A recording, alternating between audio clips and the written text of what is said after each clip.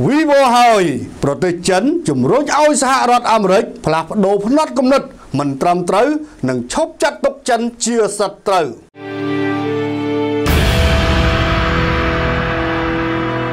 មន្ត្រីការទូតជាន់ខ្ពស់មួយរូបរបស់ចិននាថ្ងៃច័ន្ទនេះបានថ្លែងថាទំនាក់ទំនងចិនអាមេរិកស្ថិតក្នុងសភាពជាប់គាំងដោយសារតែសហរដ្ឋអាមេរិកចាត់ទុកចិនជាសត្រូវក្នុងការស្រមើស្រមៃរបស់ខ្លួន ហើយលោកបានទទូចឲ្យទីក្រុង Washington ព្យាយាមផ្លាស់ប្ដូរផ្នត់គំនិតមិនត្រឹមត្រូវ និងនយោបាយគ្រោះថ្នាក់របស់ខ្លួននេះបើតាមការចេញផ្សាយដោយទីភ្នាក់ងារព័ត៌មានសិនហួរនៅរសៀលថ្ងៃច័ន្ទទី26ខែកក្កដាឆ្នាំ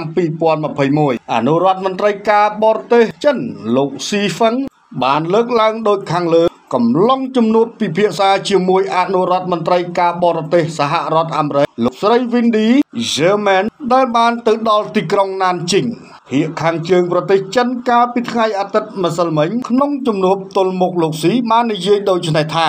អាមេរិកចង់បំផុសស្មារតីគោលដៅជាតិឡើងវិញតាមរយៈការយកចិនធ្វើជាសត្រូវក្នុងក្តីស្រមៃរបស់ខ្លួនលោកអនុរដ្ឋមន្ត្រីការបរទេសចិនបានបន្តទៀតថាសហរដ្ឋអាមេរិកប្រកាន់យកនយោបាយដែលព្យាយាមរាំងខ្ទប់ការអភិវឌ្ឍនៃប្រទេសចិនហើយធ្វើដូចជាវានឹងអាចដោះស្រាយបញ្ហាក្នុងស្រុកនិងក្រៅស្រុករបស់ខ្លួនបានព្រមទាំងនឹងធ្វើឲ្យអាមេរិកអស់ចាឡើងវិញហើយអនុត្តរភាពរបស់អាមេរិកអាចបន្តទៅមុខទៀតយ៉ាងដូច្នោះគួរបញ្ជាក់ថាលោកស្រីអនុរដ្ឋមន្ត្រីការបរទេសអាមេរិកក៏នឹងត្រូវជួបពិភាក្សាជាមួយរដ្ឋមន្ត្រីការបរទេសចិន